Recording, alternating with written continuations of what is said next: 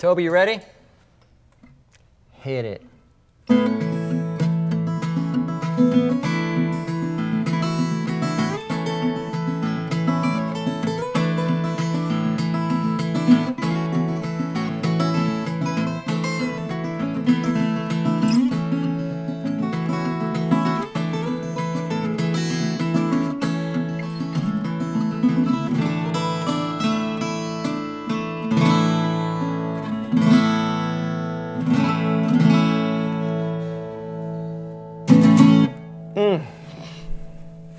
Attention, cork sniffers and guitar snobs across the land. This is Brazilian rosewood.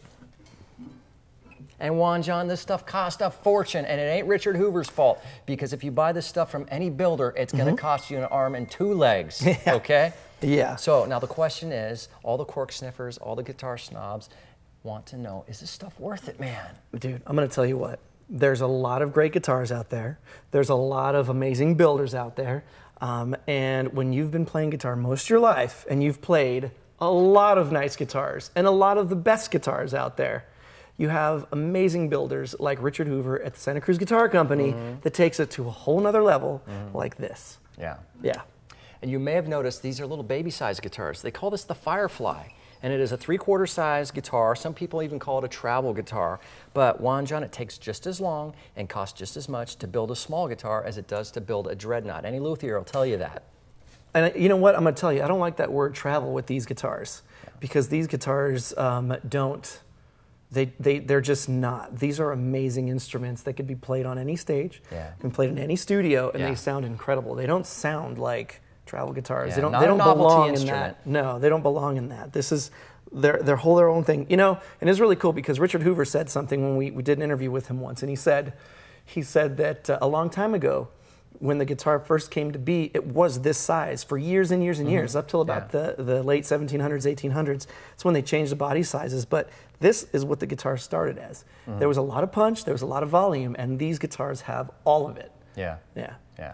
Well, these Fireflies are almost identical except for the soundboard, which I've got a Master Grade California cedar. Juan John, what you got going over there? I have got a Sinker Redwood.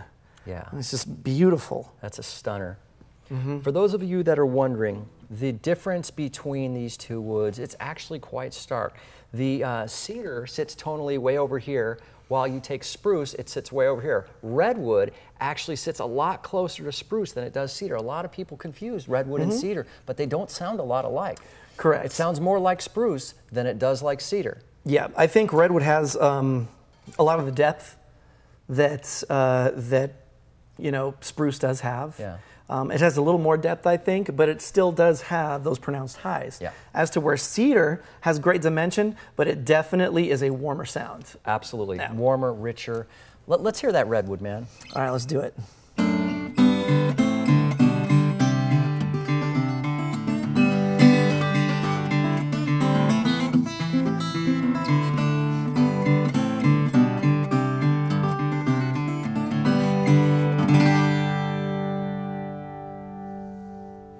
Vibrance. Just it just jumps out of the sound hole, man. It's still sustaining.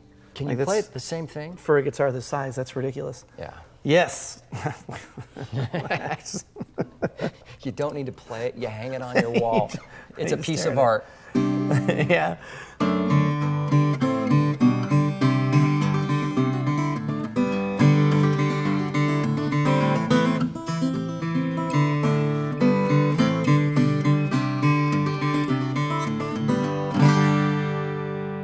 There's the difference, man. It's quite a bit more mellow. Yeah, it is. Quite a it bit more almost mellow. You could almost say it sounds more broken in. It's had a warmer sound Mm-hmm. to it, doesn't it? It does. And you know what? There's a lot of players out there that prefer that. There's guys that don't change their strings at all ever because they want want the that warmer sound. Yeah, Yeah. they want the darker sound. Let's Yeah. um, let's try the old G chord test. All right, let's do it.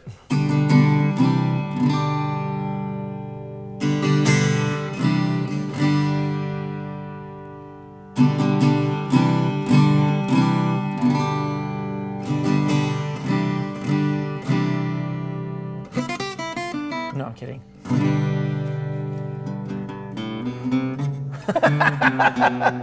I tried, man. Blasphemy, not on these guitars.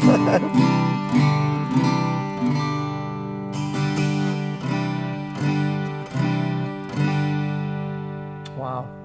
Different. Big time. Different. You know what I, I really like, though? Uh, these Both these guitars, um, they exaggerate the sound of these woods. Mm -hmm. The mm-hmm. builds, they sustain they have great punch, they have great tone, but the color is bright. You know, it's it's a bright sound. It's not technically treble bright. It's just out there. Yeah. Same with that. Like these It's just got a brilliance to it, doesn't it? There's a brilliance. That's a good word to use. That's a perfect word because there's not a lot of guitars that have this kind of brilliance sitting in a body size like this. Mm-hmm. Yeah.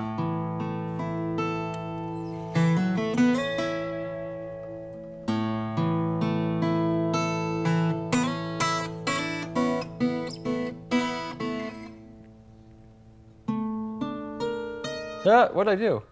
I went too far. It's the short scale.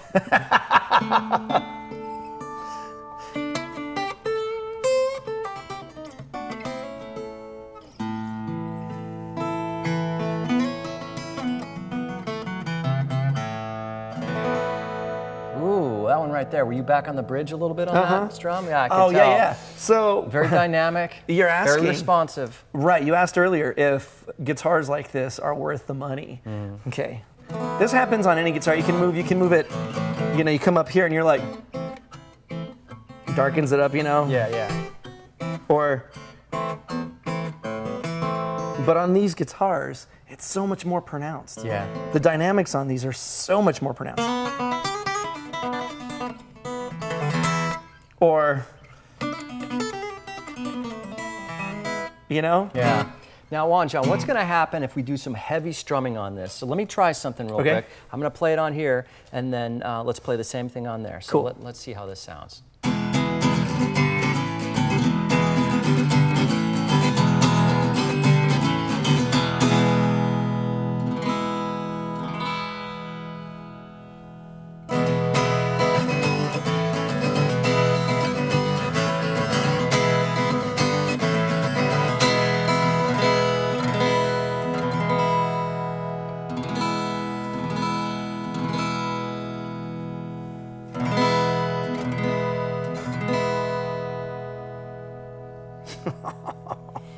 Man, these are Guys- like these are like speakers, just like I know, I know. Guys, what do you think? Do you think that this sounds great? Do you think the Brazilian rosewood is overrated?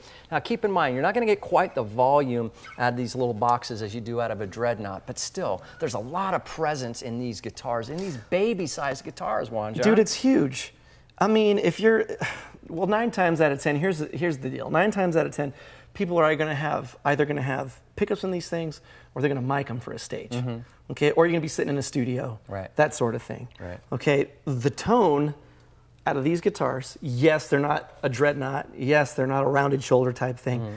It's different, but the quality of tone is still there. It's Mm. not, like you said, a novelty instrument. This is definitely just a different guitar. Yeah. Yeah, high, super high quality, different guitar. Um, you know, it's not just in the looks either. It's in the feel. It's in the build. Like when, we, when we're strumming these guitars here, put your headphones on because this is this is definitely worth um, listening to through headphones. But as you're strumming these guitars, you can feel them resonating against your body. I can feel them resonating against me and the whole neck, my hands, everything. Like you can just feel them moving, and it's beautiful. You you rarely get builds that great Yeah. you know and yeah richard hoover knocked this out of the park it was like okay yeah, Yeah. this is how you build this is how you build a guitar Yeah. Yeah. Yeah. So anyway, folks, I hope you enjoyed the demo. This is the Santa Cruz Firefly in Master Grade Sinker Redwood over Brazilian Rosewood and Master Grade Cedar over Master Grade Brazilian Rosewood. That's Juan John. I'm Brendan. This is Toby. Toby uh, vibrating back here, and uh, we want to thank you guys so much for watching and supporting our channel. Santa Cruz Firefly, Juan John, Brendan, Toby. We're out. Thanks for watching, guys.